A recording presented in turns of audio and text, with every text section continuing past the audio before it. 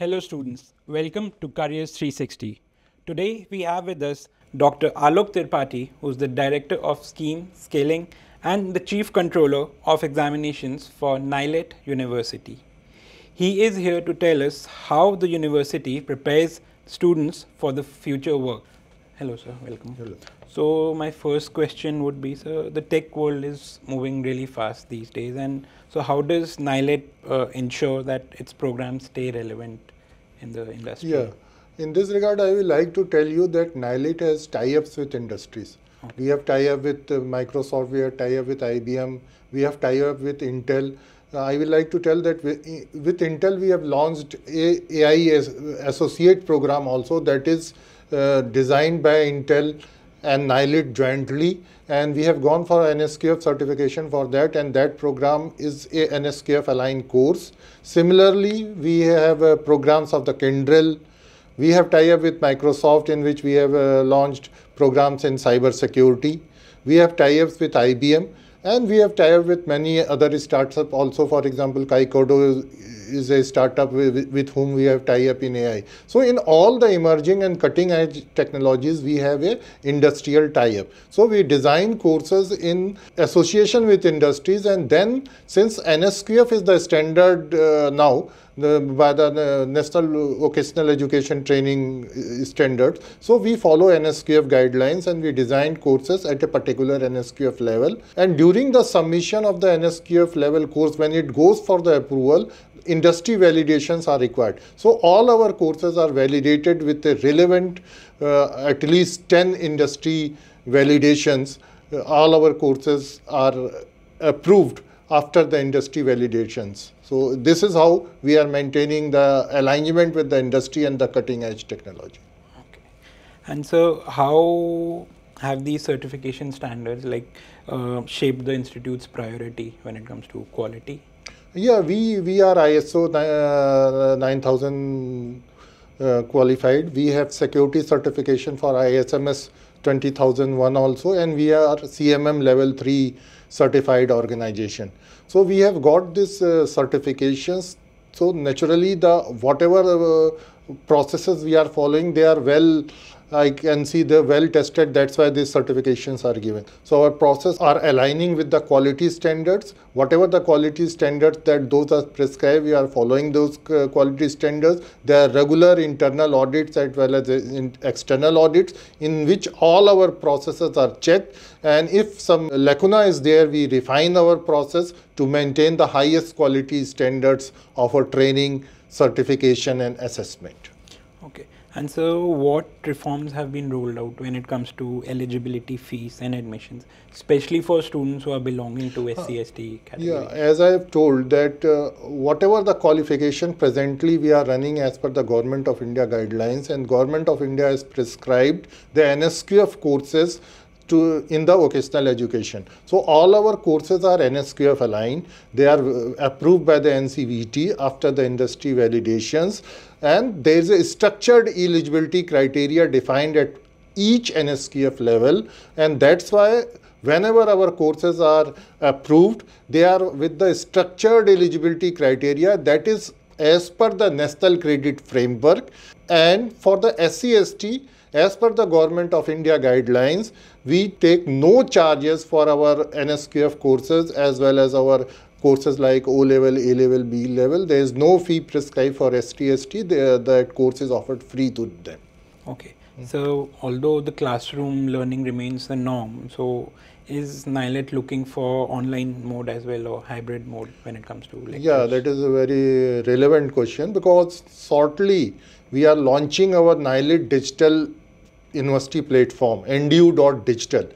So, so on this presently we have 80 courses but total courses were what we, we have got approval from the NSQF there are around 150 courses. So we are presently have put up 80 courses. We are launching with 80 courses but shortly we have all the 150 courses on our this digital platform where virtual lab assessment and feedback mechanism as well as uh, guidance to the students during the course progression all is there. So we are shifting to the digital mode also and you will see in uh, years to come on most of our courses will be available online through our ndu.digital okay. So when it comes to modern education lms is the key.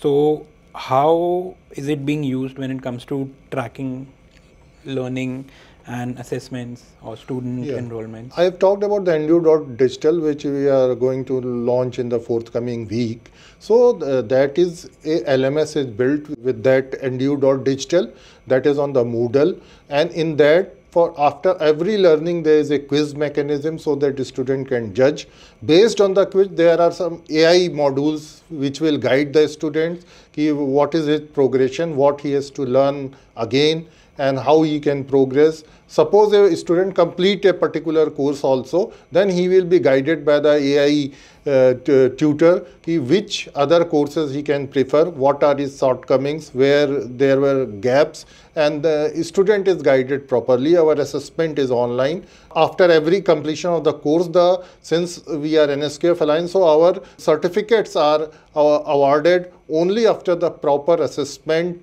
and the examination, which is an online mode and that's why our uh, this uh, certifications and assessment are uh, according to the highest standards of the industry. So project-based learning has a huge learning curve. So how is it embedded in courses like O level, and how do the faculty, how does the faculty mentor students through the process? Uh, yeah. Uh, that is a very good question because projects are the practical learning which student gains or the application of the knowledge. So I will like to tell in our O level, the certificate is awarded only of the project completion. Okay. Project is mandatory. If the project is not completed, the certificate will not be awarded. And the, our faculty, whatever the our centers are there, they guide the students to during for the project concept. They guide for the development of the project, and we have a good assessment criteria also that projects are evaluated. After the assessment only the projects are assessed accepted and our degree uh, certificates are also awarded after only after the project completion. Okay. And so how does NIELIT ensure transparency when it comes to admission in document verification, eligibility and screening? Uh, actually, all our uh, online, all our online processes, registration, examination form submission, all are online process, and that is uh, uh through uh, as per the software validations. There are validation; those validations are checks are present in the software and the software verifies that whether a particular validation is violated. If the particular validation is uh, violated, the candidate is not allowed to register or fill a particular exam form or like that. Okay. And so when a course is cancelled or if there's a reschedule, so how, what about that? How are the refunds given or is the student informed about uh, it? As I told that all our processes are online. So whenever a course is cancelled, suppose it happens our center, so the center contacts the students through SMS. We uh, collect the email ID of students also, so they are informed through the email ID, SMS also. And if suppose a particular candidate is not responding, then we contact through the, the mobile phone also if the mobile phone uh, is that is submitted is the correct mobile number. Okay. And how is the student progress monitored? As I've told in the NDU.digital, we have a quiz mechanism so that after every learning or every chapter there is a quiz which the students attempts. And based on that there is a AI software is there which guides the student what what is the outcome of his learning how much he has learned where are their gaps or whether he has to go for again learning that chapter. So in this way AI mechanism is there that guides the student through that quiz mechanism and uh, there are some suppose some long duration course is there so there are regular assessments by the faculty also on the basis of which students are given feedback to improve their learning so that in the end whenever they go for the final exam they are well prepared and uh, certificate is awarded with uh, high quality standards of the examination. And how is data being used for all this?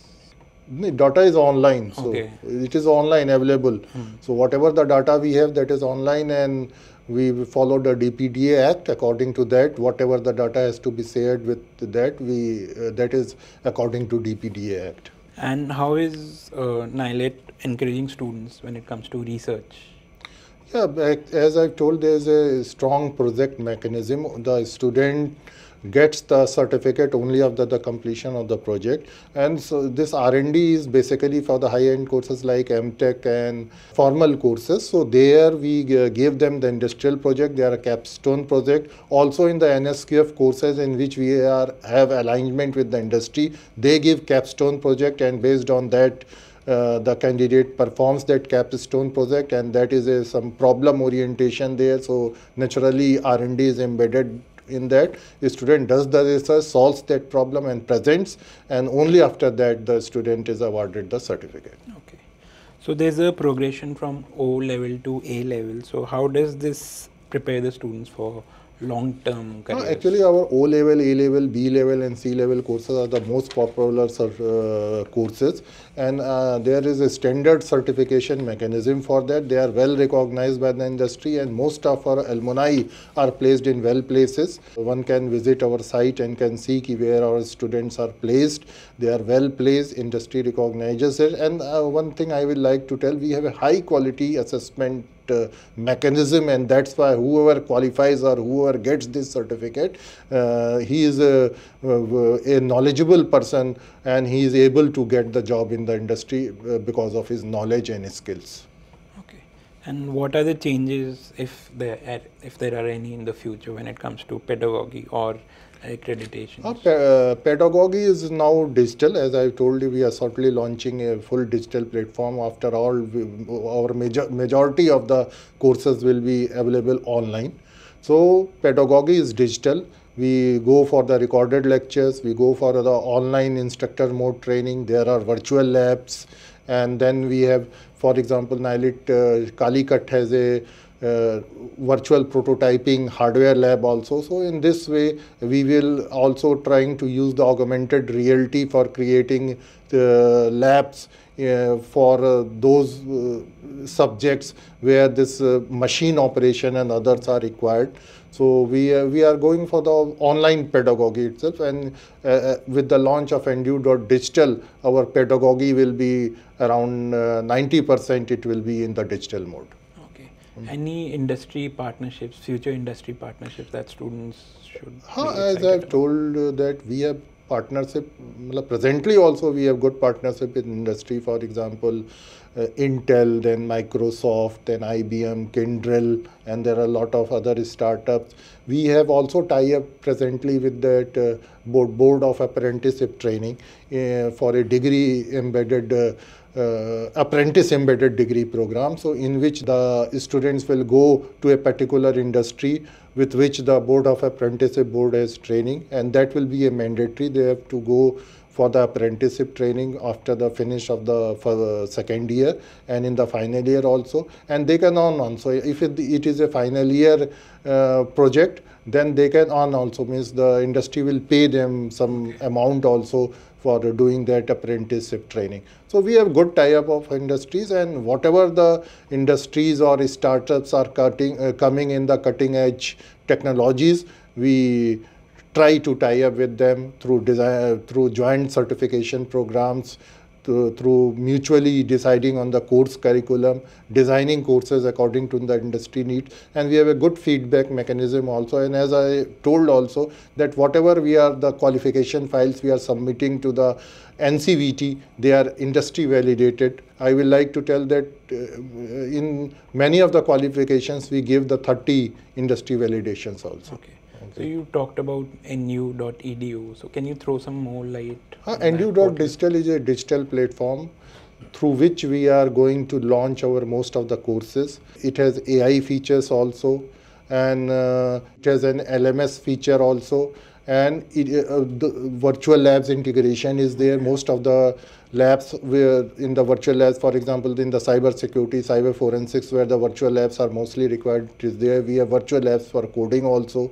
We have courses on Industry 4.0 also, and for the Industry 4.0 also, we have simulated lab that is integrated with that platform. So from this platform, we will be launching most of our uh, this NSQF courses in which the student can learn online it will be a AI monitored platform on which all the learning of the student will be monitored uh, through AI and they will be guided accordingly by the AI about their weaknesses, their strength and what, uh, what course progression they can take uh, after the learning. So, and our assessment is online, so they can be assessed online also.